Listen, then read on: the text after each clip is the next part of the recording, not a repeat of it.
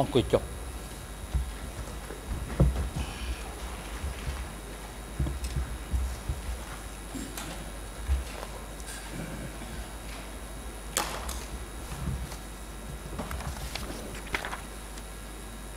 អង្គជំនះប្រកាសបន្តកិច្ចដំណើរការនីតិវិធីសមនការហើយមុននឹងផ្ដល់វិធានការជូនទៅក្រមសហមិត្តវិការពីក្តីនួនជាបន្តការតាំងសម្រួលដល់ចំពោះសាក់សីអង្គជំរះទៅចេញនៅស្ដីការសម្រេចផ្ទាល់មាត់លើបញ្ហានៃការតាំងសំណួររបស់លោកមេធាវីបច្ចេកកូពេចំពោះសាក់សីដែលមានការជំទាស់តវ៉ាពីសំណាក់សហបញ្ញរងអន្តរជាតិនៅមុនពេលលហាថ្ងៃត្រង់ដើម្បីទុកលទ្ធភាពឲ្យដំណើរការសមការទៅមុខបានល្អប្រសើរហើយអង្គជំរះដល់វេការជូនទៅភារៈជូនទៅលោកចក្រមសង្មាក់ឡាវែងដើម្បីចេញនៃការសម្រេចផ្ទាល់មាត់លើបញ្ហា ដែលមានបញ្ហាកាប់ពីព្រឹកមិញសូមអញ្ជើញលោកចក្រមសង្មាក់ឡាវែង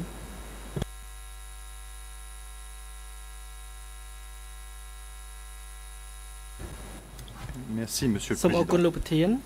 Donc, ce matin, Maître Copé a fait référence aux déclarations d'une personne dénommée Anne Sopip. Anne Sopip avait fait l'objet d'une interview par l'organisation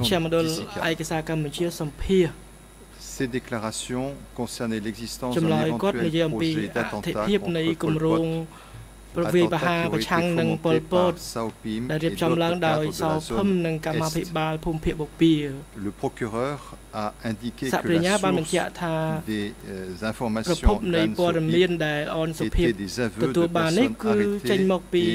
ចម្លើយសារភាពរបស់មនុស្សដែលគេចាប់ខ្លួននិងឃុំនៅមន្ទីរស21 ayant revu ដោយបានពិនិត្យមើលកិច្ចសម្ភាសជាមួយអនសុភាពឡើងវិញអង្គជំនុំជម្រះក៏សម្គាល់ឃើញថាសម័យខ្លួនបានដឹងថាអ្នកមកពីភូមិភាគបូព៌ានេះជាអ្នកបង្កើតហេតុការណ៍មួយចំនួនពីព្រោះថាមានមនុស្សត្រូវបានចាប់ខ្លួនហើយមានការសារភាពក៏ប៉ុន្តែទោះជាយ៉ាងណាក៏ដោយនៅក្នុងដំណាក់កាលនៃនីតិវិធីនេះអង្គជំនុំជម្រះមិនអាចកំណត់ឲ្យបានច្បាស់ថាតើព័ត៌មានដែលអនសុភាពទទួលបានហើយការដឹងឮរបស់គាត់ des aveux provenant ទទួលបានពីចម្លើយសារភាពមកពីស21ឬក៏អត់គាត់អាចត្រឹមតែនិយាយបានអង្គជំនុំជម្រះអាចត្រឹមតែនិយាយបានថាប្រភពព័ត៌មាននេះគឺមិនច្បាស់លាស់ Autant cette précision étant donnée ដូច្នេះ elle autorise អង្គជំនុំជម្រះអនុញ្ញាតឲ្យមេធាវីការពារក្តីលោកនួនជាសួរសំណួរដែលខ្លួនមានបំណងចង់សួរកាលពីព្រឹកមិញនេះ បាទអរគុណហើយសួស្តីលោក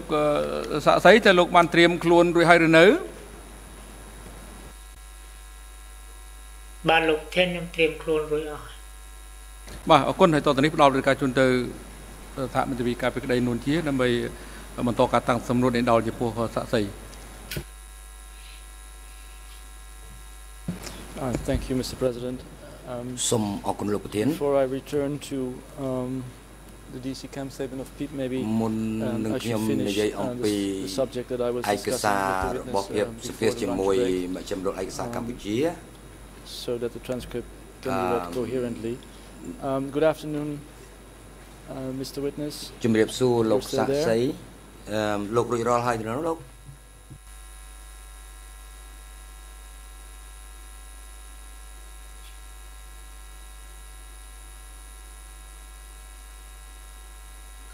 បាទខ្ញុំត្រៀមរួចហើយ Uh, thank you, um, Mr. Witness. Um, before the break, we were speaking about uh, the three different categories um, of prisoners within Old Town Sing. ទាំង3ប្រភេទនៅមន្ទីរសន្តិសុខអូកន្សែងខ្ញុំមានសំណួរមួយសួរបន្តពីនោះ respect have you ever heard um តើ លោកធ្លាប់ឮ June ដែលទេនៅម្ដុំខែមិថុនាឆ្នាំ78 guidance or guideline គឺ of the Central Committee of the Communist Party of Cambodia គោលការណ៍ណែនាំរបស់បកកុម្មុយនីកម្ពុជា party's policy ស្ដីអំពីគោលនយោបាយរបស់បក persons ចំពោះអ្នកដែលយល់ច្រឡំ being accused of គឺអ្នកដែលត្រូវបានចោទប្រកាន់ថាជា um ពួកក្បត់ Vietnam ដែលមានតំណែងតំណងជាមួយវៀតណាមឬក៏ CA new guideline as to how មានគោលការណ៍ណែនាំ the various people who were implicated ស្ដីអំពីការប្រព្រឹត្តចំពោះអ្នកដែលត្រូវមានការជាប់ពាក់ព័ន្ធនេះ guidance or guideline តើលោកធ្លាប់បានដឹងអំពីគោលការណ៍ណែនាំដែលបានចេញនៅម្ដុំខែមិថុនាឆ្នាំ1978ដែរទេ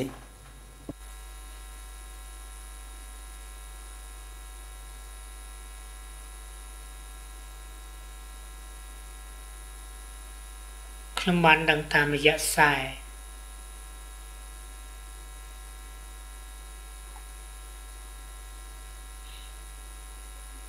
And can you tell us what you did um ហើយតើលោកអាចជម្រាបជូនអង្គជំនុំជម្រះ2078 to implement this guideline ថាក្រោយឆ្នាំ1978តើលោកបានអនុវត្តគោលនយោបាយនេះដោយរបៀបណាជាពិសេសតកតងទៅនឹងមន្ទីរសន្តិសុខអូកន្សែងចាប់ពីក្រោយពេល មានចេញគោលការណ៍នេះមក និងពេលបន្តបន្តមកទៀត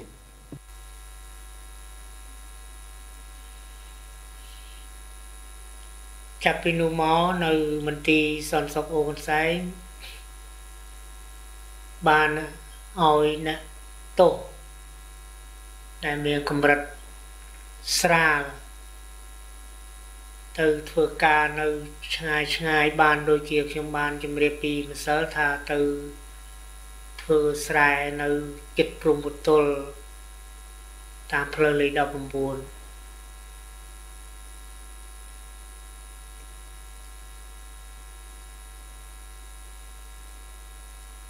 But do you remember whether there was a តើលោកចាំទេ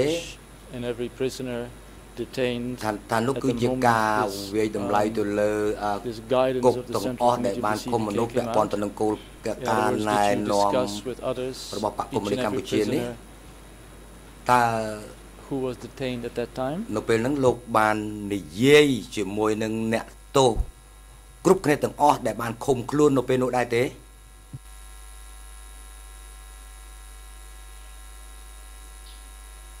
ខ្ញុំមិនដែលបាននិយាយជាមួយ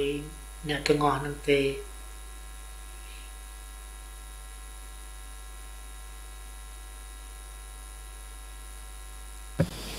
Um, but but how was this new guideline implemented? តើគោលការណ៍ថ្មីនេះត្រូវបានយកទៅអនុវត្តដោយរបៀបណាតើគេយកគោលការណ៍នេះទៅអនុវត្តក្នុងលក្ខណៈ ទន់ភ្លន់ដោយរបៀបណាដែរក្រោយពីចេញគោលការណ៍នេះរួចមក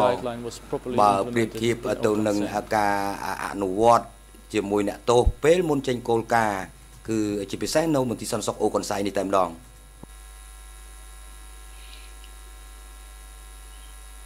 ការអនុវត្តនៅគោលការណ៍នេះ មានលក្ខណៈទន់ភ្លន់ទន់ភ្លន់ត្រង់ចំណុចដែលថាឲ្យ មានរបបហូបចុកអី ល្មមសំរុំដូចជាអ្នកទៅជាមួយខ្ញុំធ្វើចំការធ្វើស្រែនៅភូមិកងចិត្តស្មោភូមិហ្នឹងឲ្យគាត់ហូបហើយមិនរឹតត្បិតពេកទេមកគាត់រោស្អីបានឲ្យគាត់ហូបនឹងហើយហូបជាសមូហភាព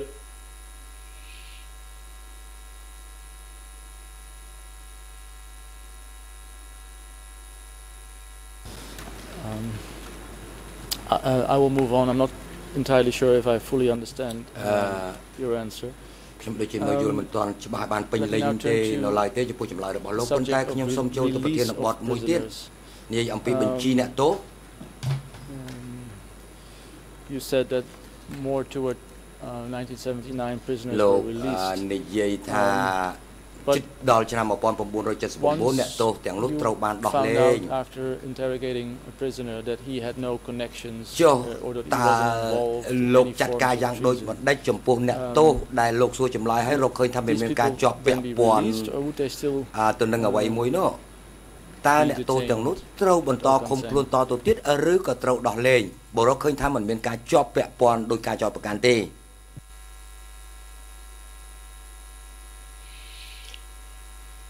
ក្រៅពីអ្នកដែលបានសម្លាប់ហើយអ្នកដែលនៅសល់គឺបានចេញមកធ្វើការដូចខ្ញុំបានជម្រាបពីខាងដើម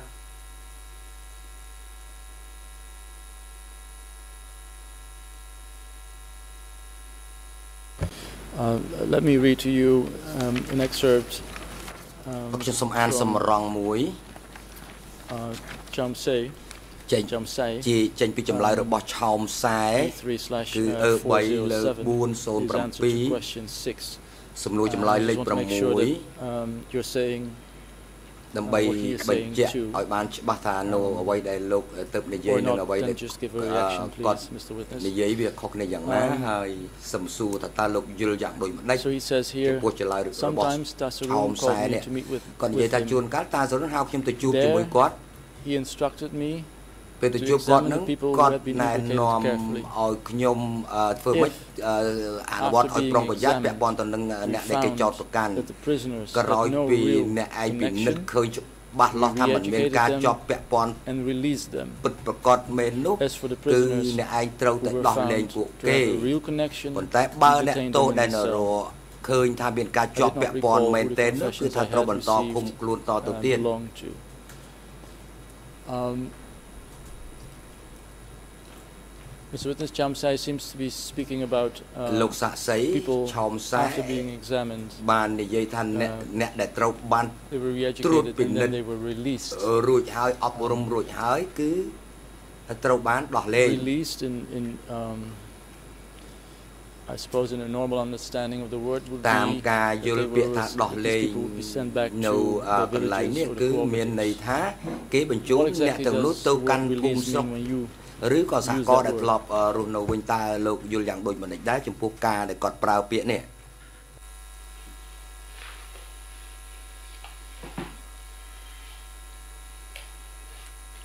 ការដោះលែងក្នុងរយៈហ្នឹងគឺនៅក្នុងរង្វង់មន្ទីរសន្តិសុខអូបន្សែងដោយក៏រួមធ្វើការងារនៅក្នុងមន្ទីរសន្តិសុខអូបន្សែងនឹងចំពោះអ្នកទោសដែល សម្រាល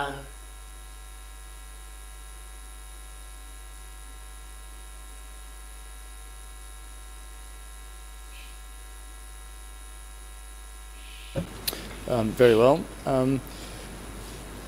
let me now move on to the subject បាទឥឡូវខ្ញុំសូមចូលទៅប្រធានបទ from before the lunch break ដែលខ្ញុំបានលើកឡើងមុនពេលសម្រាប់ពិសាបាយថ្ងៃត្រង់ statement to DC គឺចម្លើយរបស់ភាពឆ្លើយជាមួយមជ្ឈមណ្ឌលឯកសារកម្ពុជា let me read again ខ្ញុំសូមអានសារជាថ្មីដើម្បីរំលឹកដល់ការចងចាំរបស់លោក I'm going to read um her ខ្ញុំនឹងអានសម្រងរបស់ភាពហើយសំសួរថាតើលោកមានប្រតិកម្មឬក៏យល់យ៉ាងដូចម្ដេចទៅនឹងចម្លើយរបស់គាត់នេះគឺឯកសារអឺ3 19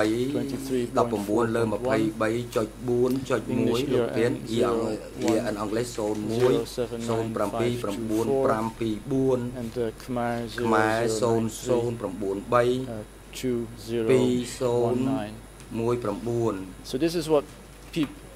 នេះគឺជាចម្លើយរបស់ភាពឆ្លើយទៅអ្នកស៊ើបអង្កេតនៃមជ្ឈមណ្ឌលឯកសារកម្ពុជា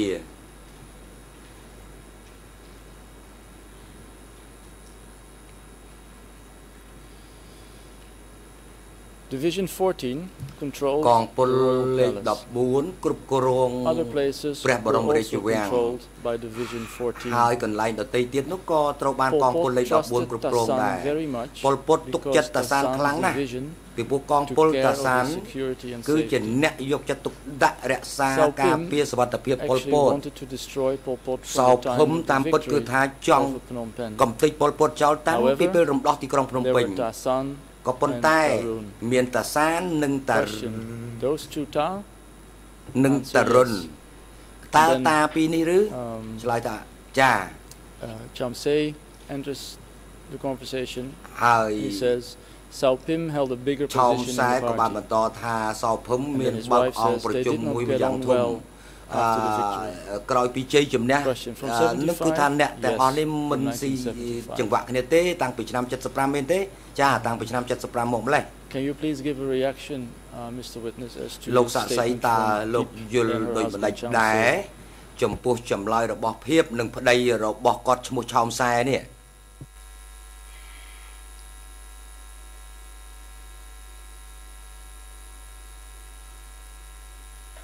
ខ្ញុំ ដឹងនារីឈ្មោះភាពជាប្រពន្ធឆោមខ្សែនេះគាត់ទូនាទីនឹងឋានៈរបស់គាត់ជាពេទ្យនៅក្នុងអង្គភាពអនុសេនាធំហើយការធ្វើសក្តិកម្មដូចជាទលំទលាយខ្ពស់តិចហើយគាត់ដឹងច្រើនរឿងជាងខ្ញុំ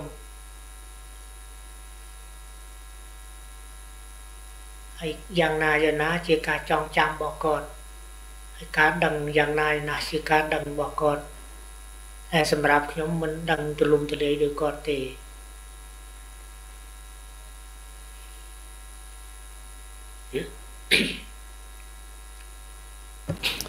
Um, very well. Let me see if if I if I read to you a few more specific excerpts ខ្ញុំសូមអានសម្រងជាក់លាក់ maybe that is something that you heard at the time from other division members ប្រហែលជានៅពេលនោះក៏លោកបានឮពីកងពលដតីទៀតផងដែរភាព two pages down បាននិយាយនៅត្រង់ទំព័រពីខាងក្រោមឯកសារនេះជាអង់គ្លេស0179526 and Khmer Khmer 0093 2021 He talks about uh, Pol Pot's bodyguards uh, and Division 801's role in protecting Pol Pot. Um, កងពលលេខ801គឺមានភារកិច្ចការពារប៉ុលពតនិងជាអ្នកបែងចាត់ចែងកម្លាំងអង្គរៈ um, His bodyguards សាននិយាយថាកងការពាររបស់ប៉ុលពតនោះគឺមាន 4 5នាក់ his bodyguards and people from our division បន្តទៀតថាកងការពារនេះគឺចេញទៅពីកងពលរបស់យើង he only went around with the division he dared not go outside គាត់ហ៊ានមកក្បែរតកងពលនេះទេមិនហ៊ានទៅក្បែរកងពលដទៃទៀតទេមិនទុកចិត្តកន្លែងដទៃទៀតទេ that someone wanted to kill him ថាតើមានសញ្ញាណាមួយថាមានអ្នកណាចង់សម្លាប់គាត់ទេ there had been two or three explosions already មានការបំផ្ទុះអាវុធ ពីរបីលើកដែរប៉ុន្តែគាត់មានសុវត្ថិភាពក្រមានម្ដងនោះនិរសារបស់គាត់ម្នាក់បានរងរបួស explosions happen do you សួរ remember តាតាការបំផ្ទុះអាវុធនេះតាំងពីពេលណានៅកន្លែងណាដែរឆ្លើយនៅជិតភ្នំពេញ here again um Cham Sai លោកសាក់សីក្រោយពីស្ដាប់ his wife ចម្លើយរបស់ឆោមខ្សែហើយនឹងប្រពន្ធរបស់គាត់ឈ្មោះភាពដែលមកពីកងពលតែមួយជាមួយលោកដែរនោះ people បាននិយាយ soldiers trying to kill Pol Pot ថាមានកងទ័ពជាយាមសម្រាប់ប៉ុលពតហើយមានការបំផ្ទុះអាវុធនោះពីរបីលើកដែរហើយម្ដងក៏បានធ្វើឲ្យនារសាម្នាក់រងរបួសតើលោកធ្លាប់តែឮសូរក្របអាវុធផ្ទុះនៅក្នុងទីក្រុងភ្នំពេញក្នុងគោលបំណងអឺធ្វើឃាតប៉ុលពតដែរទេ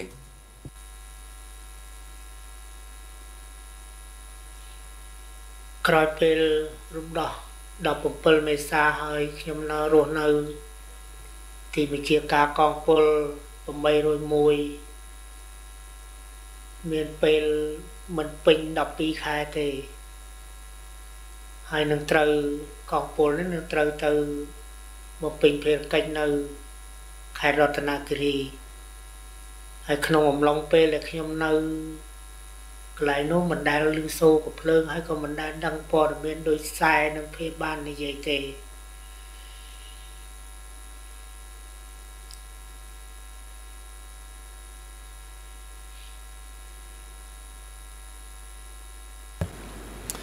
Uh, on that very same page នៅត្រង់ទំព័រដដែលនេះដែរ talks about ឆោមខ្សែបាននិយាយអំពី shootings and conflicts ការបាញ់បោះ broken out at the Olympic Stadium មានចំនួននៅ start Olympic គាត់និយាយដូចតទៅបាទចំនួនទី2និងទី3គឺបានលេចឡើងនៅ Olympic ហើយមានគេបាញ់អាវុធចេញក៏ប៉ុន្តែអង្គរៈនឹងការពីមែនទែននេះគឺជាអឺអឺ you mentioned earlier um, របស់អភឹម this morning Mr Witness that your division was involved លោកសាក់សីលោកថាកងពលរបស់លោកពាក់ព័ន្ធទៅនឹងការការពារសន្តិសុខនៅអូឡំស្តាតអូឡ িম্প ពិក um violent actions តើលោកមានដឹងថាមានអំពើហិង្សាឬក៏មានចំនួនគ្នារហូតដល់បាញ់បោះដាក់គ្នានៅ Stade Olympic ដែរទេ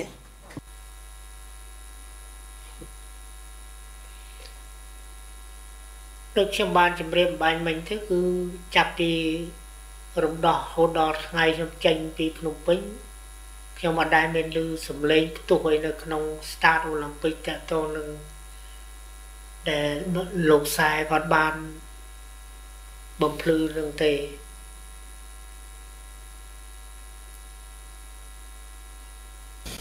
And then the last example uh, that's ហើយឧទាហរណ៍ចុងក្រោយគឺនៅត្រង់ទំព័រ01079527ខ្មែរ009322 say 022 presumably moves ខ្សែ in time one year going to 1977អាប្រហែលជាចាក់ចេញពីនេះហើយនៅឆ្នាំ1977 the following, and I quote, the one who was arrested was a skilled shooter. he could shoot any target he wanted. បាញ់នោះគឺថាមានជំនាញខ្លាំងណាស់ក៏ប៉ុន្តែ មិនបានជោគជ័យក្នុងការបាញ់សម្លាប់ពលពតទេនៅពេលដែលគេឲ្យគេឲ្យគាត់នឹងគឺថាទៅរៀបចំតុបតែងឆាកដើម្បីរំលឹកខួបជ័យជំនះរបស់បកកម្ពុជាកម្ពុជានេះគាត់និយាយអំពីខែកញ្ញាឆ្នាំ1977តើលោកដែលធ្លាប់ឮសូរអំពីគោលបំណងបាញ់សម្លាប់ប៉ុលពតនៅពេលគេឲ្យគាត់នោះទៅរៀបចំ វេទិកាដើម្បីតបតែងលម្អរំលឹកនៅខួបជ័យជំនះរបស់បកកុម្មុយនីកម្ពុជាលោកបានឮទេ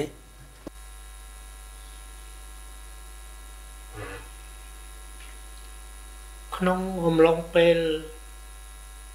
ឆ្នាំ77ដើមឆ្នាំឬក៏ពាក់កណ្ដាលឆ្នាំតាមខ្ញុំចាំខ្សែ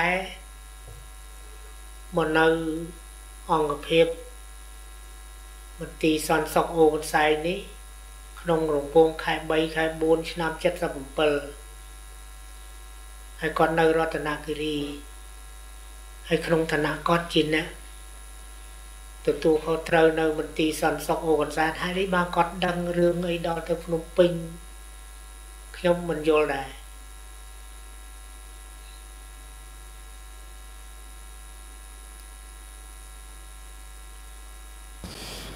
Well, hopefully we'll be able to um, ask him this very question um, uh, at one point in time. ខ្ញុំនឹងសួរមកសំណួរនេះវិញនៅពេលក្រោយឥឡូវនេះខ្ញុំសូមត្រឡប់ទៅនិយាយអំពីមន្ទីរសន្តិសុខអូកន្សែងសារជាថ្មីឡើងវិញ And and that's um, your earlier testimony as to សកម្មកម្មរបស់លោកមុននេះ of prisoners លោកបាននិយាយអំពីចំនួនអ្នកទោសលោកបាននិយាយថាមកដល់ថ្ងៃនេះលោកនឹកមិនឃើញចំនួនអ្នកទោសសរុបទេប្រហែលជាជាង100លោកថាមានប្រហែលជាជាង100ឬក៏តិចជាង200អ្នកហើយលោកខ្ញុំសូមសួរតទល់ជាមួយនឹងលោកនៅអ្វីដែលឆោមខ្សែបានប្រាប់ទៅអ្នកស៊ើប មន្ត្រីស៊ើបអង្កេតនៃ405គឺឯកសារអឺ3លើ405សំណួរចម្លើយ88 he he talked about um គាត់បាននិយាយអំពី approximately 50 to 70 prisoners um ប្រហែលអ្នកទោសប្រហែលជា50ទៅ70អ្នកនៅដើមឆ្នាំ77 នឹងនៅពេញឆ្នាំ77 he says that by 1978ហើយគាត់ឆ្លើយថានៅឆ្នាំ1978អ្នកទោសកើនឡើងដល់ទៅជាង100នាក់ Would you be in a position to to say whether his estimate លោកយល់ថាយ៉ាងដូចម្ដេចដែរចំពោះការកាន់ប្រមាណរបស់គាត់ចន្លោះថាមានអ្នកទោសទាំងអស់គឺអាចចន្លោះពី50ទៅជាង100នាក់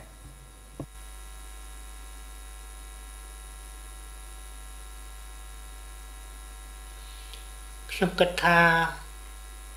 ការផ្ដល់សក្តិសិកម្មរបស់លោកឆោមខ្សែពីពួកអីគាត់ជាអ្នកគ្រប់គ្រងរួមអ្នកទទួលខុសត្រូវរួមនៅមន្ទីរនឹងហើយខ្ញុំជាសមាជិកខ្ញុំមិនសូវបានដឹងជាចំនួនជាក់លាក់ហើយមិនបានចាំពីពួកខ្ញុំជាអ្នកកត់ត្រាចម្លើយរបស់អ្នកទោស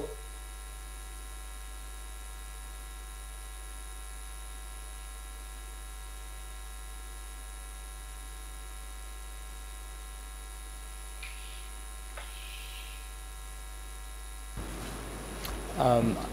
I understand Mr Witness but um ខ្ញុំយល់ហើយលោកសាក់សី the number 2 or number 3ប៉ុន្តែលោកក៏មានមានឋានៈលេខ2លេខ3ដែរ people in charge នៅក្នុងជួរឋានានុក្រមនៃកម្មភិបាលគ្រប់គ្រងមន្ទីរសន្តិសុខនោះហើយលោកធ្វើការនៅទីនោះរៀងរាល់ថ្ងៃ is his um estimate តើការប៉ាន់ប្រមាណចំនួនអ្នកទោសរបស់ឆោមសែនេះ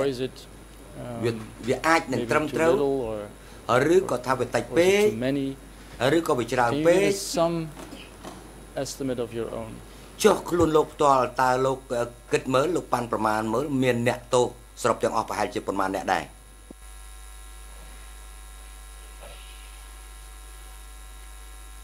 ចំនួនដែលខ្ញុំបានជម្រាប ហើយនឹងចំនួនដែលខ្សែបានផ្ដល់ខ្ញុំផ្ទៀងផ្ទាត់ទៅក៏ប្រហាក់ប្រហែលនឹងគ្នាដែរមិនខុសគ្នាអីឆ្ងាយពេកទេ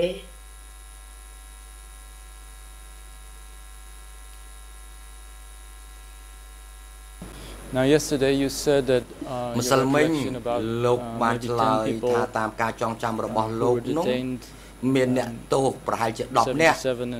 ត្រូវបានគុំខ្លួននៅក្នុងឆ្នាំ77ទៅ78នោះគឺថាអ្នកទោសប្រហែលជា10នាក់អាចស្លាប់ដោយសារតែជំងឺរាករូសឬក៏ជំងឺគ្រុនចាញ់តើលោកនៅនឹកឃើញទេ Can you remember anyone from this 10 people អ្នកដែលស្លាប់ប្រហែលជា10អ្នកនឹងស្លាប់ដោយសារតែជំងឺរាករូសឬក៏ជំងឺគ្រុនចាញ់ហ្នឹង លោកនោះនឹកឃើញឈ្មោះរបស់ពួកគេទេហើយអ្នកទាំងនេះជាអ្នកណា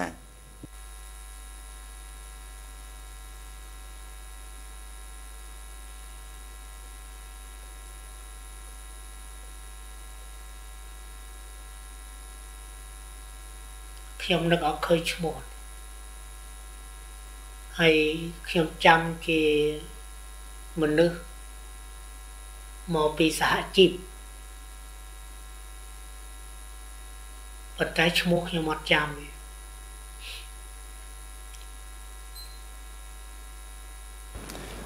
Um how were you able to establish តើធ្វើម៉េចបានជាលោកអាច the people you said who uh, that died from malaria ហាញបញ្ជាក់ឲ្យឃើញថាអ្នកដែលស្លាប់នេះគឺស្លាប់ដោយសារជំងឺរាករូសឬក៏រុនចាញ់នៅក្នុងគុកនោះ example of the rubber plantation union workers that they had already malaria ព្រោះថានៅចំការកៅស៊ូពលករនៅចំការកៅស៊ូក៏មានជំងឺគ្រុនចាញ់ដែរនៅពេលដែលពួកគេ ធ្វើការនៅចំការកៅស៊ូក៏មានជំងឺគ្រុនចាញ់រួចទៅហើយ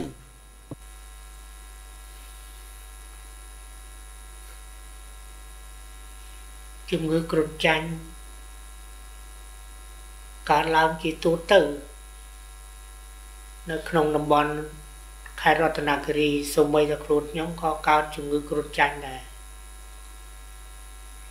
គ្រុនចាញ់បើយើងព្យាបាលថ្នាំ មិនបានដដល់ទេវានឹងវិវត្តទៅស្លាប់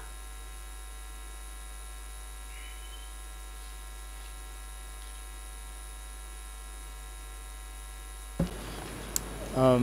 but you as the number 2 or 3 were responsible for the proper treatment មានទូនីតិពោះលេខ2លេខ3នៅប្រទេសសន្តិសុខនោះអឺអញ្ចឹងលោកគឺជាអ្នកដឹងពិតប្រកបចំពោះអ្នកដែលធ្លាក់ខ្លួនឈឺនៅក្នុងគុកនោះ ត្រឹមត្រូវទេ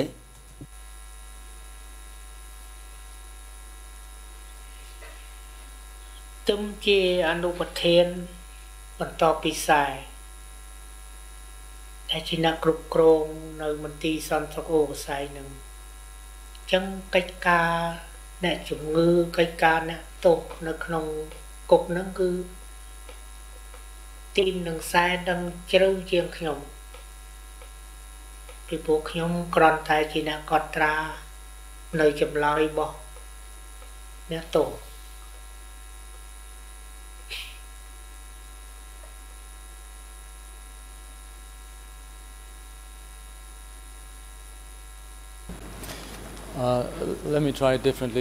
ឥឡូវខ្ញុំសុំសួរសុំសួរខុសពីនេះម្ដងលោកបានឆ្លើយថាខ្លួនលោកតលហ្នឹងក៏មានជំងឺគ្រុនចាញ់ដែរ infected with malaria was that before 1975លោកមានជំងឺគ្រុនចាញ់នេះនៅពីពេលណាមកដែរថាមានតាំងពីមុនឆ្នាំ1975ឬក៏យ៉ាងណា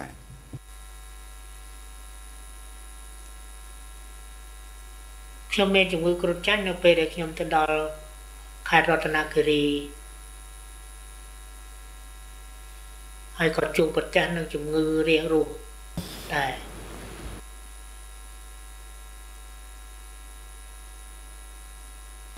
And and what did you do to treat yourself ចុះ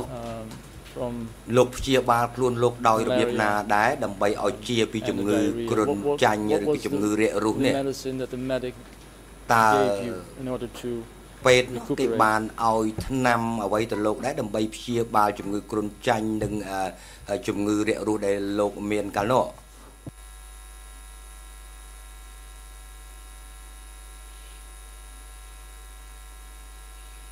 មុនចេញពីភ្នំពេញទៅខេត្តរតនគិរីខ្ញុំបានទទួលព័ត៌មានក្នុងការផ្សព្វផ្សាយក្នុងមន្ទីរកងពលថាតំបន់នោះជាតំបន់គ្រុនចាញ់ហើយនៅពេលដែលពួកកងតបចូលដល់ទីក្រុងភ្នំពេញក៏សង្វាតរោថ្នាំពិសេសក្រោយពេលត្រៀមចេញទៅខេត្តរតនគិរីរោថ្នាំដូចជាគីនីន និងក្លរ៉ូគីនត្រៀមដាក់រៀងរៀងខ្លួន ដោយមន្ទីរកន្លែងមន្ទីរហ្នឹងគេមានមនុស្សយល់ដឹងអំពីពេទ្យច្រើនដែរ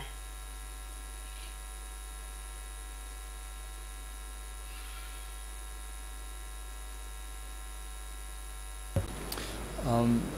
let me ask it more broad. Um ឥឡូវនេះខ្ញុំសួរលោកឲ្យទូលាយបន្តិច with malaria លោកថាតំបន់ហ្នឹងគឺមានជំងឺគ្រុនចាញ់ If one of the security guards ប្រសិនបើសន្តិសុខណាមួយនៅក្នុងមន្ទីរសន្តិសុខអូកសាយឬក៏មន្ទីរសន្តិសុខណាមួយមានជំងឺគឺថាឆ្លងជំងឺគ្រុនចាញ់ What kind of treatment would this person get តើសន្តិសុខឬក៏កម្មាភិបាលហ្នឹងក៏ទទួលបានការព្យាបាលបែបណាដែរ មានការព្យាបាលដោយថ្នាំបោះពេទ្យប្រចាំនៅក្នុងមន្ទីរសន្តិសុខនឹង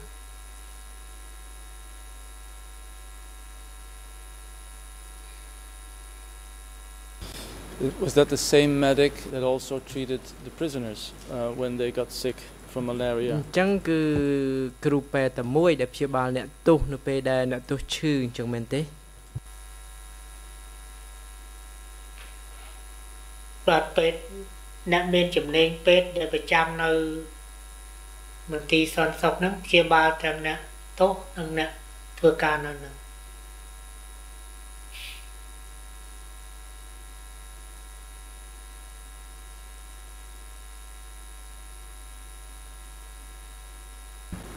And did this medic uh, also give the same treatment um, to prisoners as to security guards when either one of them got sick from ពេទ្យទាំងនោះគឺផ្ដល់ការព្យាបាលដូចគ្នាផ្ដល់ថ្នាំដូចគ្នាចំពោះអ្នកទោសក៏ដូចជាកម្មាភិបាលដែលធ្វើការនៅមន្ទីរសន្តិសុខនឹងនៅពេលដែលពួកគាត់មានជំងឺគ្រុនចាញ់អញ្ចឹងមែនទេ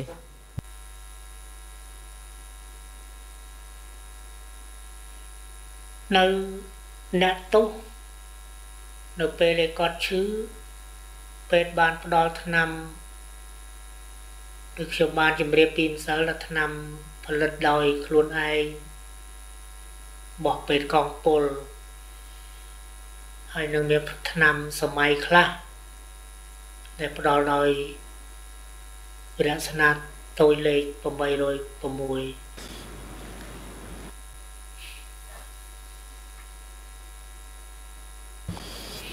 Um, but is it fair to say that um, whenever a prisoner got sick អញ្ចឹងខ្ញុំអាចនិយាយបានថានៅពេលដែលអ្នកជំងឺគាត់គ្រុនចាញ់ឬក៏មានជំងឺអីគឺថាគាត់ទទួលបានការព្យាបាលដូចគ្នាដូចគ្នានឹងសន្តិសុខឬក៏កម្មាភិបាលនៅមន្ទីរនោះតើអញ្ចឹងមែនទេបាទត្រឹមត្រូវ Um you said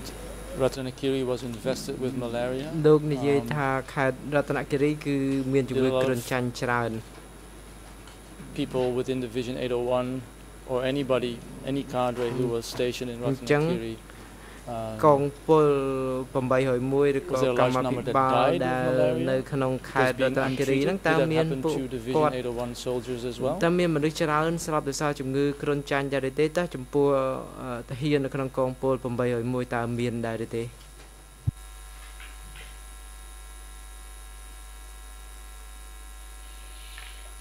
កងទ័ពគ្រប់វិរសនាធំទាំងអស់ ដែលបោះឈួចជើងតាមមុខសញ្ញានីមួយមួយដូចជា82 83 81នៅពេលដែលទៅដល់ក្នុងចន្លោះ76 77មានជំងឺទទួលជំងឺគ្រុនចាញ់ច្រើនណាស់ហើយមកដេកពេទ្យនៅបន្លុងពេទ្យកងពលហើយស្លាប់ក៏ច្រើនដែរ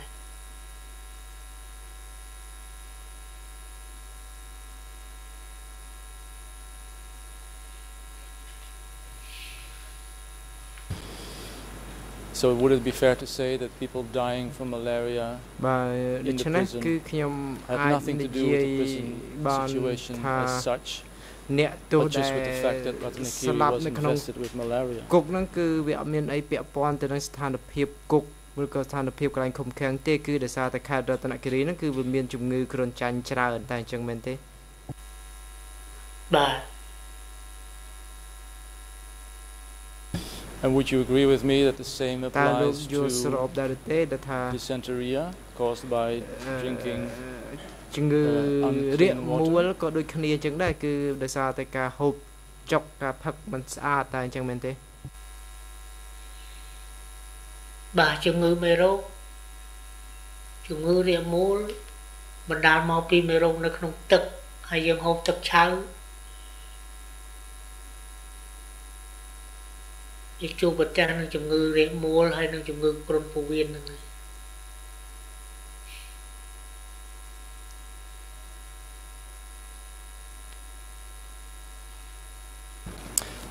Um, I, I understand that. That's what you testified to this morning. But ជាអ្វីដែលលោកបានឆ្លើយព្រឹកមិញ um, Is it correct that ប៉ុន្តែតើជាការត្រឹមត្រូវទេដែលថាកងទ័ពនៅក្នុងកងពល801 sometimes died ពេលខ្លះក៏គាត់ស្លាប់ដោយសារតែជំងឺរាកមូលដែរតើអញ្ចឹងមែនទេ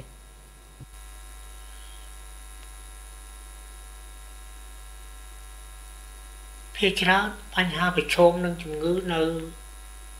ចំពោះកងទ័ពក្នុងរយៈពេលទៅចាប់ពី70ចុង76ឬក៏ ដើម77គឺរាតត្បាតខ្លាំងមែនទែនជំងឺគ្រុនចាញ់រហូតដល់គ្រុនសន្ធុំអត់ដឹងអី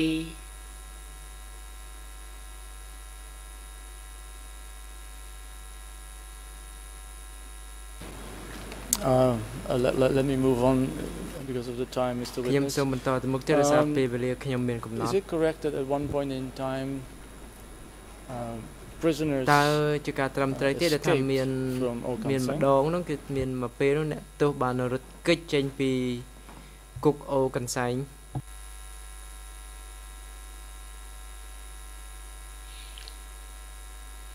បាទត្រឹមត្រូវឬបាទខ្ញុំជម្រាបពីម្សិលថាមានឈ្មោះម៉ៅរត់ចេញពីគុកអូកន្សែងហើយប្រជាជននៅភូមិធួយហ្នឹងគាត់ចាប់យកមកដាក់នៅបកគលឲ្យមន្ទីរនឹងវិញ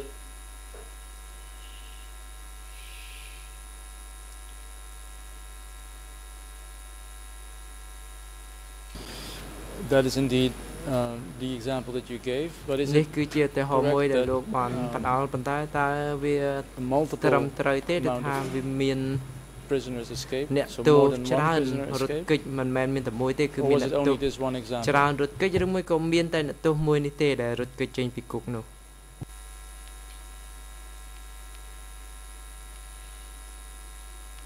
តាមខ្ញុំចាំមាន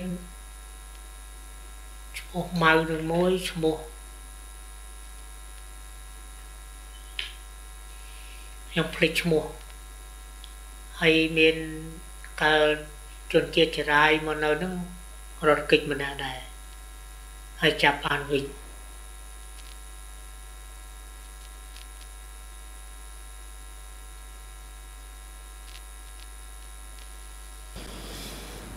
អឺ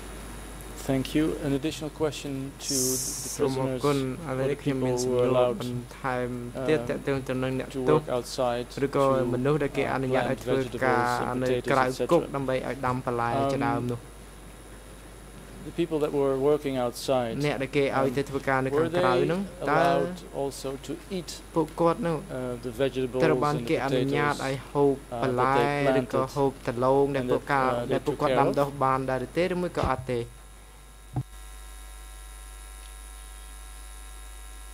ការពិតដំឡូងដែលគាត់ពួកគាត់ដាំហើយបន្លែដែលពួកគាត់ដាំគឺយកមកផ្គត់ផ្គង់នៅផ្ទះបាយក្នុងមន្ទីរអូកសែងនេះ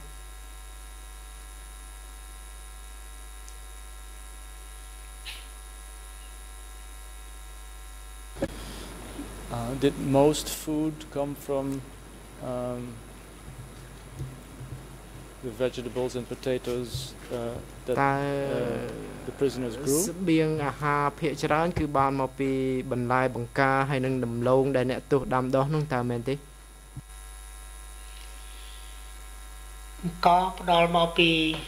កន្លែងកងពលហើយនឹងមានប៊ីកេងមានផ្អកមានប្រហុកអីហើយក្រៅពីនេះបន្លែនិងដំឡូង ពីព្រោះគេឲ្យកមកមិនគ្រប់គ្រាន់ទេ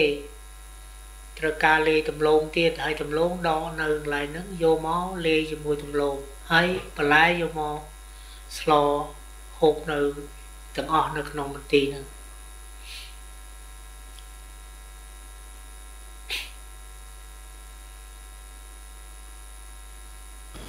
uh, and those potatoes and vegetables etc that um ចឹងដលងបន្លែបកាជាដើមដែលដាំដុះនោះ on the compound of Okan Seng was that enough តើបន្លែដែលដាំដុះក្នុងបរិវេណគុកនោះគឺគ្រប់គ្រាន់ដើម្បីផ្គត់ផ្គង់ដល់អ្នកទោសដល់ឆ្មាំគុកដល់កម្មាភិបាលនៅក្នុងគុកនឹងដែរឬទេ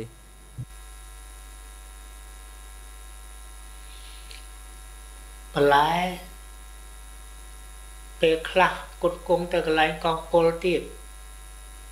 ពេលខ្លះគុតគង់ទៅសមរភូមិទៀត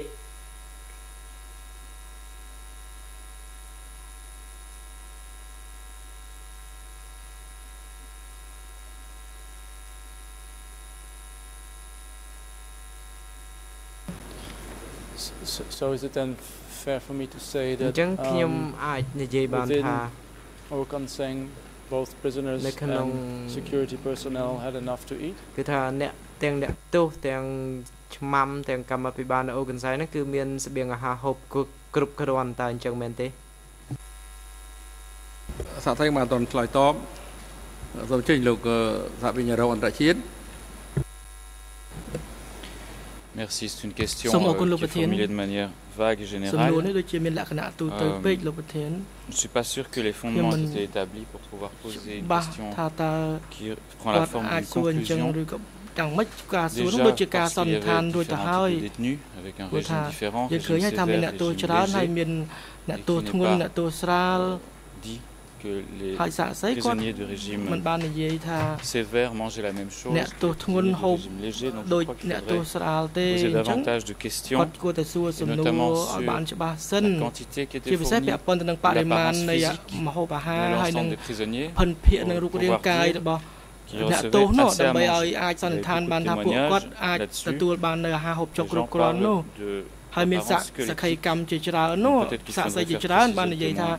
អ្នកទោសនឹងច្រើនតែមានរាងកាយស្គមស្គាំងមានតែស្បែកដណ្ដប់ឆ្អឹងអញ្ចឹងគាត់មិនគួរទាញសេចក្តីសន្និដ្ឋានលឿនពេកថាអ្នកទោសមានអាហារហូបចុកគ្រប់គ្រាន់នោះទេ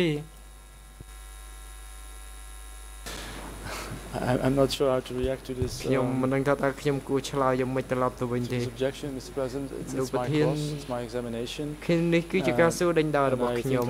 ហើយខ្ញុំគិតថាខ្ញុំមានសិទ្ធិសួរសាក់សីព្រោះសាក់សីគាត់គ្រប់គ្រងនៅអូកន្សែងហើយសំណួរនេះសាមញ្ញទេវាគ្រាន់តែសួរគាត់អំពីការចងចាំរបស់គាត់ទាក់ទងទៅនឹងអ្នកទោសហើយនឹងអឺឆ្មាំតើតើពួកគេមានអីហូបគ្រប់គ្រាន់ឬក៏អត់នោះ ប៉ុន្តែសំណួររបស់លោកបើតាមយើងយល់គឺលោកក៏សួរមានលក្ខណៈដឹកមុខយើងសួរឃើញចំនួនចុងក្រោយនេះគឺប្រភេទសំណួរនាំមុខហើយលោកអត់មានសួរដើម្បីឲ្យសាក់សីជំរឹះអំពីបញ្ហា តាមបង្ហាញអំពីឆន្ទៈនិងការយល់ដឹងរបស់គាត់ពិតប្រាកដទេសូមលោករៀបចំសំណួរនេះឡើងវិញដើម្បីជៀសវាងនៅប្រភេទសំណួរបែបនាំមុខ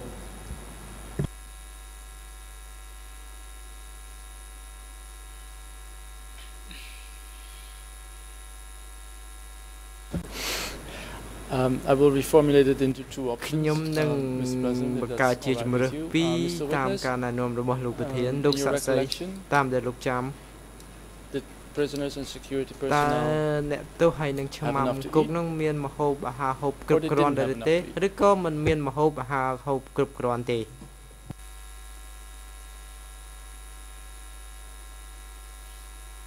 អ្នកទោសនិងអ្នកឆ្មាំ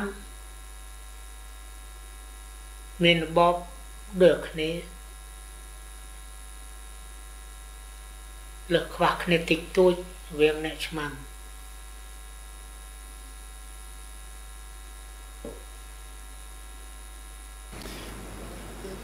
just to be sure that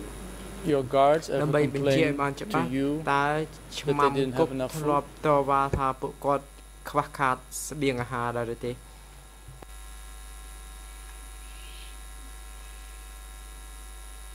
អ្នកឆ្មាំមិនដែលតវ៉ាពីរឿងខ្វះស្បៀង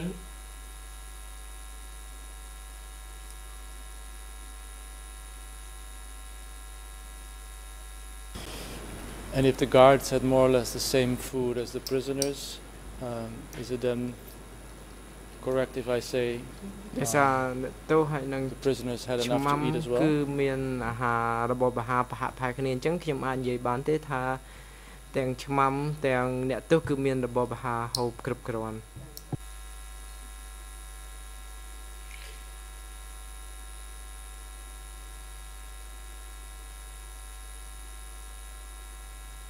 លើកលែងដែលអ្នកទោសដែលមានជំងឺធ្ងន់គាត់ហូបអត់កើត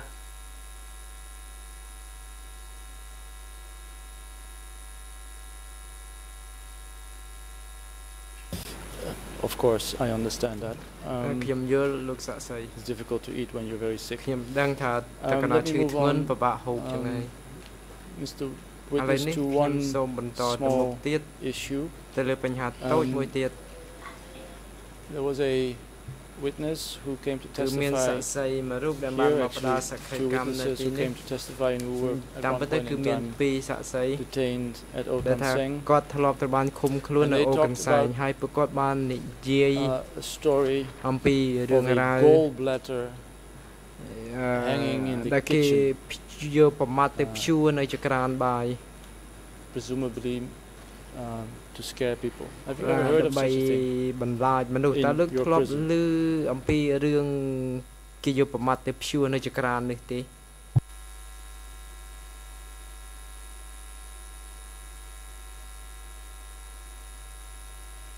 ខ្ញុំមិនដែលដឹងនឹងកម្រិតដល់ប៉ុណ្ណឹង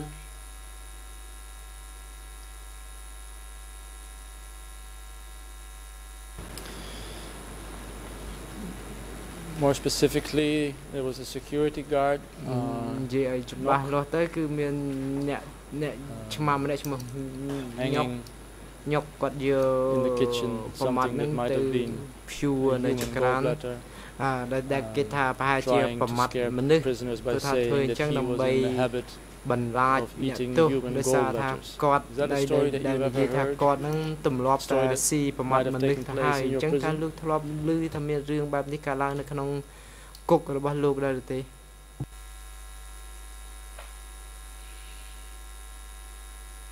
នៅ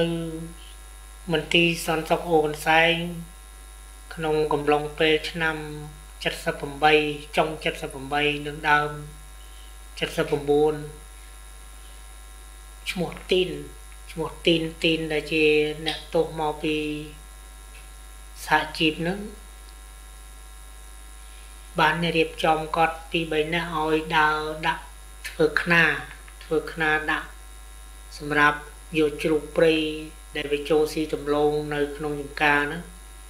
ហើយរយៈពេលហ្នឹងបានសัตว์ព្រៃជាហូហែហើយរឿងថាពាក់ព័ន្ធនឹងប្រមាថមនុស្សខ្ញុំអត់ដឹង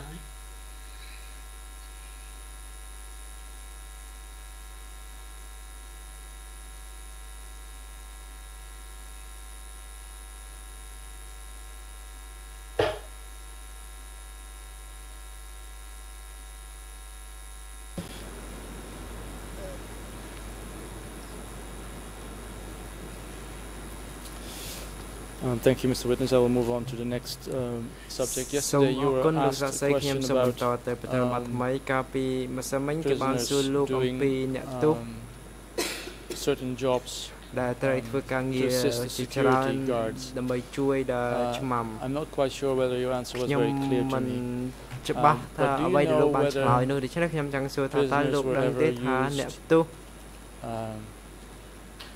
to guard ត្រូវបានគេប្រើប្រាស់ដើម្បីឲ្យយាមការពារទីកន្លែងមួយចំនួនដែរទេ such replacing គឺថា the security guards in their functions គាត់ទៅជំនួសតួនាទីមុខងាររបស់ឆ្មាំគុកតើមានទេគាត់អាចជួយយាមយប់បានផ្លាស់វេនគ្នាជាមួយនឹងកងសន្តិសុខ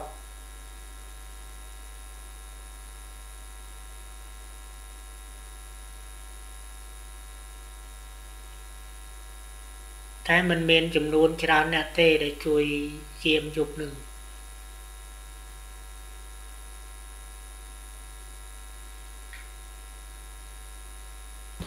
And and do you remember who they were? តើលោកចាំទេថាអ្នកទោសណាដែលគេឲ្យទៅជួយយាម Which prisoners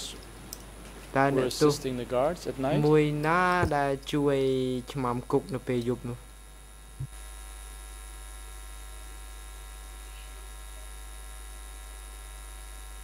មានឈ្មោះទីននឹងមួយមានឈ្មោះធននឹងពីរ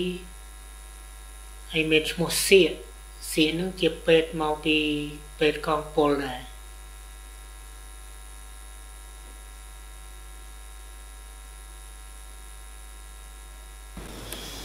Uh, thank you, uh, Mr. Witness. Now let me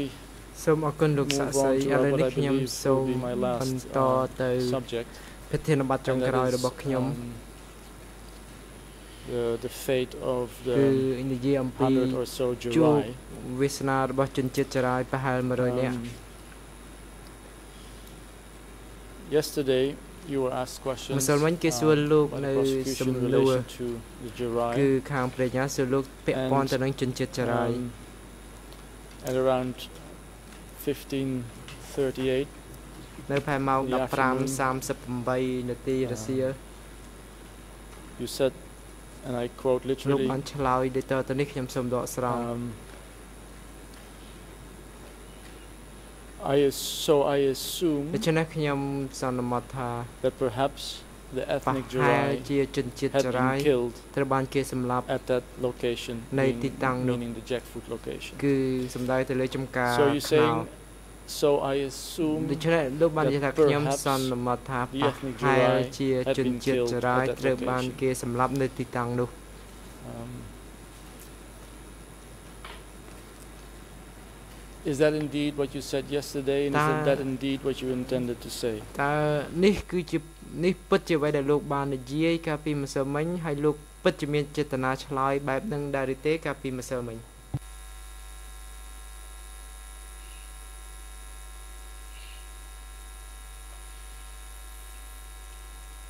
ចម្លើយដែលខ្ញុំបានផ្ដល់ជាសក្ខីកម្មពីម្សិលគឺជាការពិតចំពោះជនជាតិចរាយ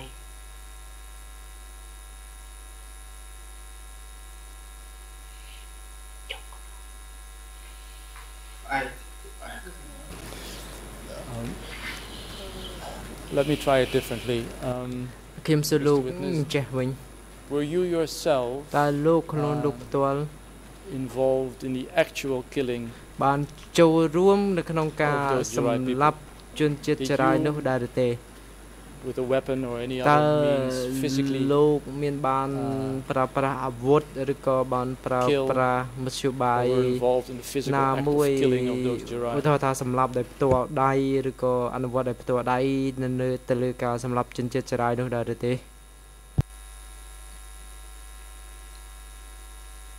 សូមគោរពលោកប្រធាន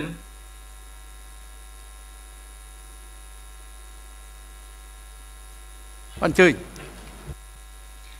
សូមគោរពលោកប្រធានអឺសំណួរនេះជាសំណួរដែលដាក់បន្ទុកទៅដល់អ្នកសាក់សីអញ្ចឹងសាក់សីមិនអាចឆ្លើយបានសូមអរគុណលោកមេធាវីពិភាក្សាជាមួយសាក់សីហើយអ្នកសម្រាប់ចិត្តគឺសាក់សីទេមិនមែនមេធាវីប្រឹក្សាសាក់សីឆ្លើយជំនួសអឺសាក់សីទេសម្រាប់ចិត្តជំនួសសាក់សីទេពីគ្រោះគាត់ទៅហើយបើគាត់ឆ្លើយក៏ឆ្លើយទៅហើយបើគាត់មិនឆ្លើយ គឺគាត់ប្រាប់ថាគាត់រក្សាសិទ្ធិមិនឆ្លើយតបនឹងសំណួរនេះទេមិនមេធាវីសម្រាប់អះអាងជំនួសគាត់ដូចនេះទេពិភាក្សាគ្នាហើយសម្រាប់ថាថ្មីម្ដងទៀតហើយសម្រាប់ដោយសាក់សីឆ្លើយតបមកអង្គជំរះបាទលោកប្រធាន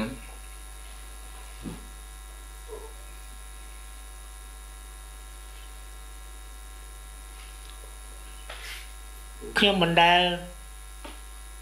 ប្រព្រឹត្តនៅសម្លាប់មនុស្សដោយផ្ទាល់ដៃទេ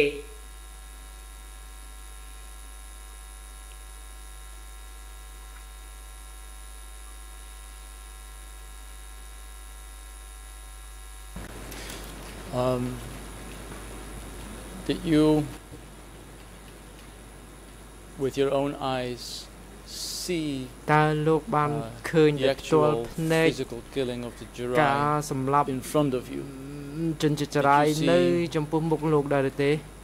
people តើលោកបានឃើញគេសម្លាប់ជនជាចរាយនៅចំពោះមុខរបស់លោកឬក៏នៅក្បែរលោកដែលថាលោកអាចឃើញដោយផ្ទាល់ភ្នែកដែរឬទេ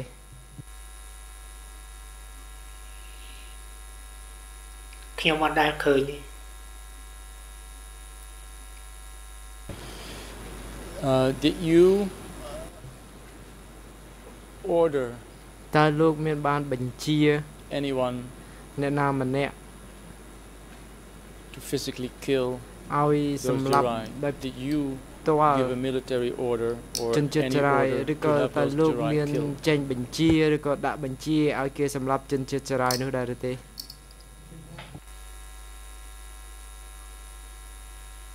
សាក់សែងបានតឆ្លើយតបសូមជួយលោកថាប្រញ្ញារងអន្តរជាតិ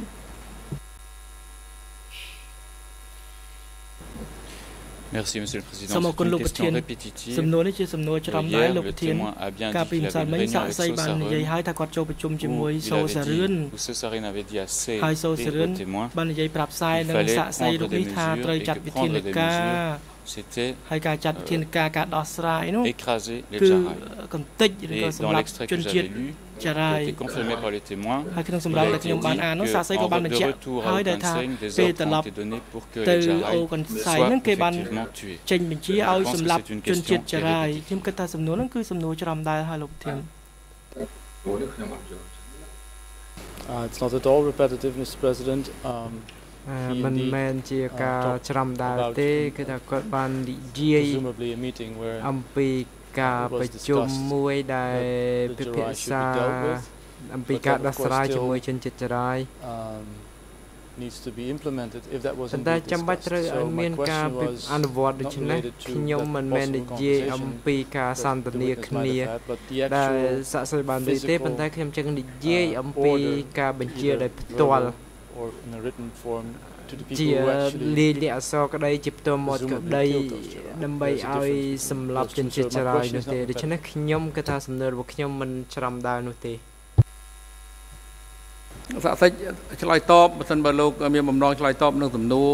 តាមវិធីដែលលោកអាចឆ្លើយតបបានហើយក្នុងករណីលោករក្សាសិទ្ធិមិនឆ្លើយតបនឹងសំណួរដាក់បន្ទុកលើលោកបានន័យថាឲ្យលោកឆ្លើយលទ្ធផល ដែលចម្លើយរបស់លោកនឹងគឺទម្លាក់កំហុសខ្លួនឯងថាបានប្រព្រឹត្តអំពើអាក្រក់ដោយខ្លួនឯងគឺលោកមានសិទ្ធិនៅស្ងៀមមិនឆ្លើយតបនឹងសំណួរដូច្នេះជំរឿសអាស្រ័យលើលោកហើយមានមេធាវីប្រឹក្សាហើយគ្រាន់តែឲ្យការពិភាក្សា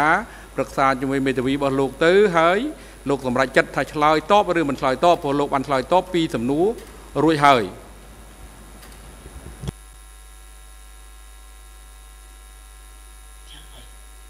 សួរសុំសួរម្ដងទៀតអត់យកឲ្យគេសួរម្ដងទៀតខ្ញុំសុំសួរសំណួរនេះម្ដងទៀតខ្ញុំអត់យល់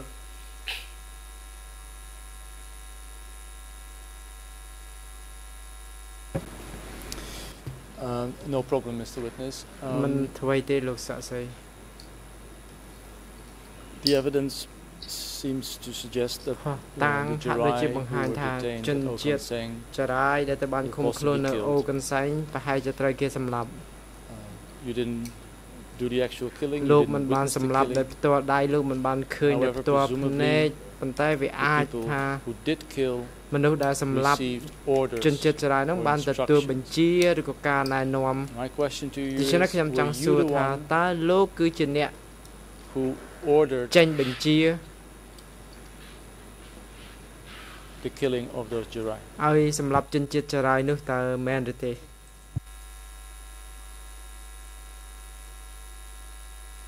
យ៉ាងម៉េចសួរសួរតែអត់យល់សួរចំនួនម្ដងទៀតឲ្យច្បាស់ទៅឲ្យពូឆ្លើយបានឆ្លើយវាឆ្លើយមិនបានទេពូនៅស្គៀមទៅលោកប្រធានក៏បានជំរាបហើយអ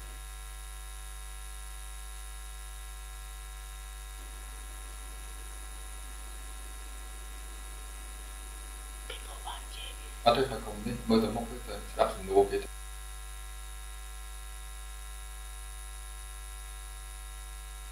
ិយាយឲ្យខ្ញុំបាន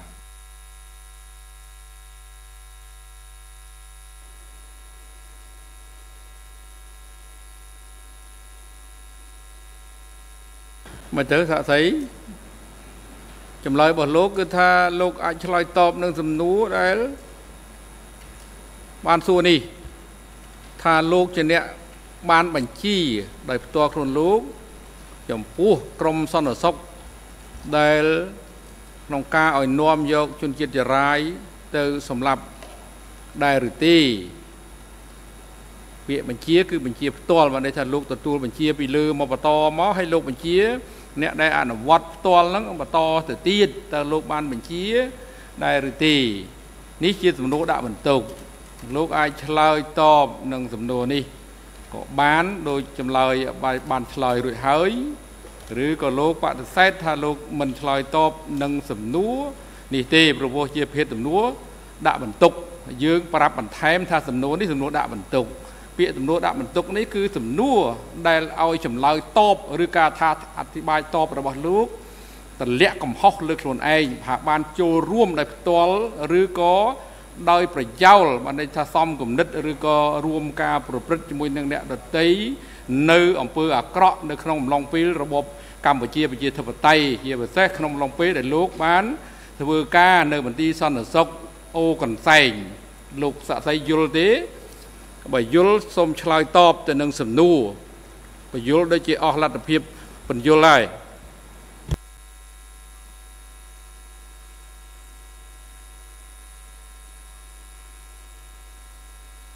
ខ្ញុំមិនឆ្លើយតបនៅសំណួរ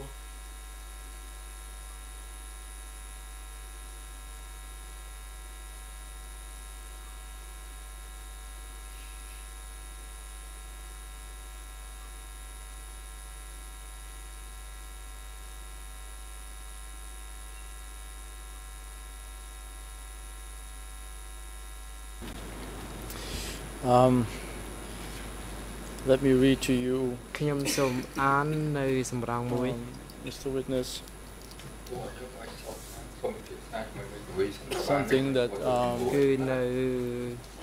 ចម្លើយ maybe duty council should um, ខ្ញុំគិតថា not advise his client when the មេ microphone ធា is វី off កាពីមេធាវីប្រឹក្សាមិនគួរផ្ដល់យោបល់ចំពោះសាក់សីទេនៅពេលដែលគេបើកមីក្រូហ្វូនបែបនេះ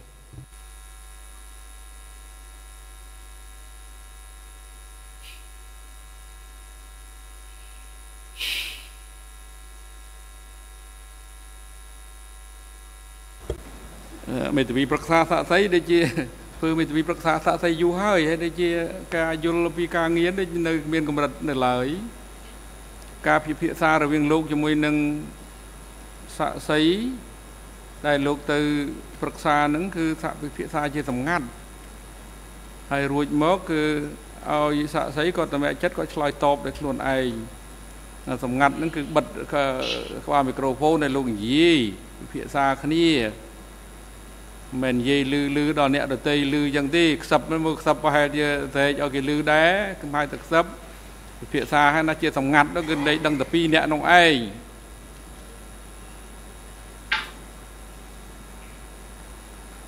បបានជួយតទៀត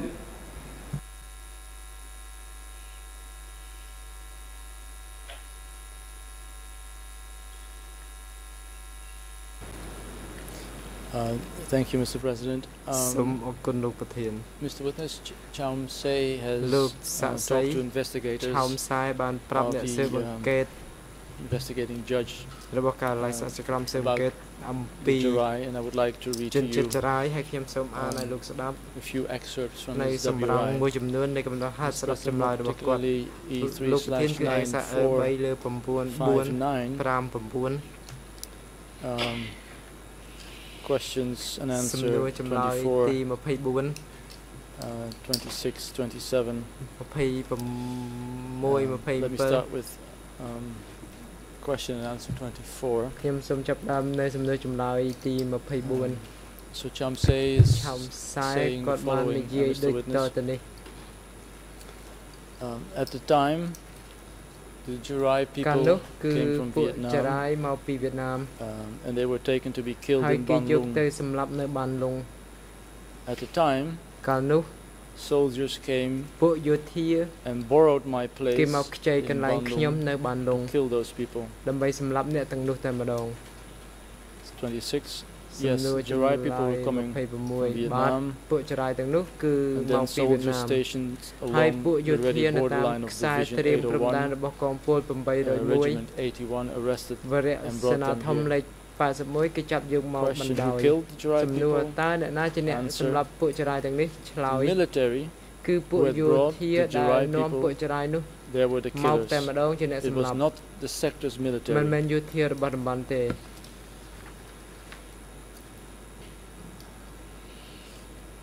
And in um,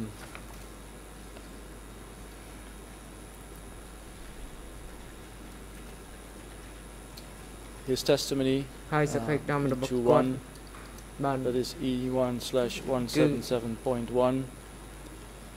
um, at គឺអឺ around មួយលើ9 1.7.1 uh, នៅ53ម៉ោងប្រហែលជា9 He says that the capture of the Hanujarai was the sole discretion of Ta Susarun. Mr. Witticham say might be shedding, some, shedding some light on who was responsible for the alleged killing of the Jarai. Um, ត់ប្រកាន់ពីការសម្លាប់ជនជាតិចរាយ Could you give a តែ reaction លោក to អាច his បញ្ចេញ testimony? មតិយោបល់បានដែរទេ Um, ចំពោះចម្លើយរបស់គាត់ Were the Jurai killed by the, the soldiers who had brought them in earlier, or តើ was it ជនជាតិចរាយត្រូវបានសម្លាប់ were the ដោយទា killers other ហាន people? ដែល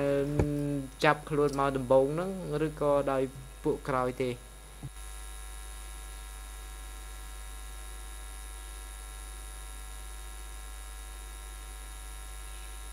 កិច្ចការសម្រាប់ជនជាតិចរាយទាំងអស់ហ្នឹងជាកិច្ចការរបស់ទីមជាអនុប្រធានរបស់ខ្សែ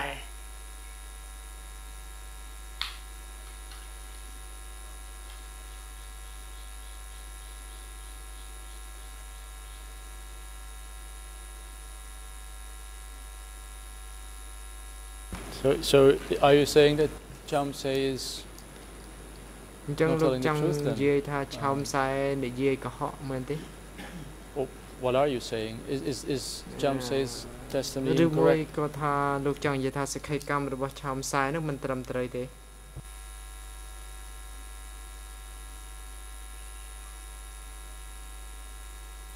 ខ្ញុំបានជម្រាបថាអ្វីដែលខ្ញុំដឹងខ្ញុំជម្រាបអ្វីដែលខ្ញុំអត់ដឹងខ្ញុំមិនអធិប្បាយទេ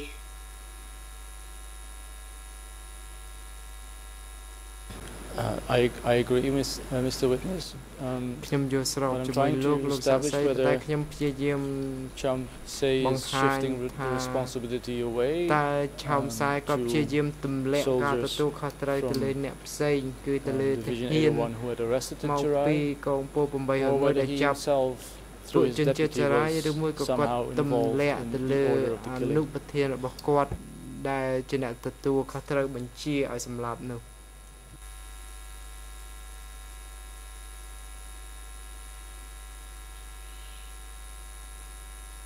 ក្នុងរយៈពេលនឹងគឺបំពេញតួនាទីតាមមុខងារដែលខ្លួនទទួលខុសត្រូវ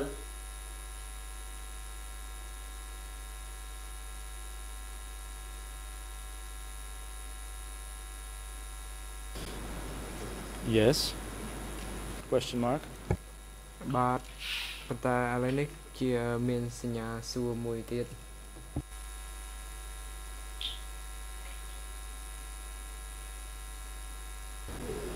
Is there anything you would like to add តើលោកចង់បន្ថែមអ្វីទៀតទេលោកសាក់សី Are you are you saying that តើលោកចង់និយាយថាឆៅខ្សែចូលរួមនៅក្នុងការបញ្ជាឲ្យសម្លាប់នេះ right and was it rather this the military who brought the right people in who were ពួកទាហានដែលនាំយកជនជាតិចរាយដែលចាប់ខ្លួនជនជាតិចរាយមកទេដែលជាអ្នកពាក់ព័ន្ធនោះ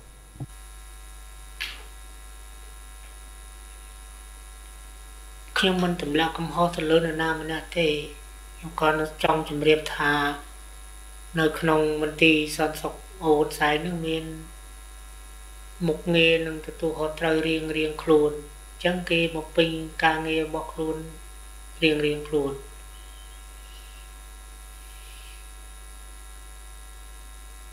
បាទអរគុណលោកស័ក្តិសិទ្ធឥឡូវនេះដល់ពេលសម្រាប់ហើយប្រកាស សម្រាប់ចាប់ពី2នេះទៅទៅរហូតដល់ម៉ោង3:05នាទីសូមអញ្ជើញជាវិញដើម្បីបន្តកិច្ចដំណើរការសម្រាប់ការហើយសូមសាកសីមានវត្តមាននៅកន្លែងផ្ដល់តក្កកម្មហ្នឹងគឺឲ្យបានមុននៅពេលម៉ោង3:05នាទីបាទឥឡូវនេះដល់ពេលសម្រាប់ឲ្យអំពីប្រកាសសម្រាប់ចាប់ពីនេះទៅទៅរហូតដល់ម៉ោង3:05នាទីសូមអញ្ជើញជាវិញដើម្បីបន្តកិច្ចដំណើរការសម្រាប់ការសម្រាប់ចុះសូមជើងក្រោកឈរ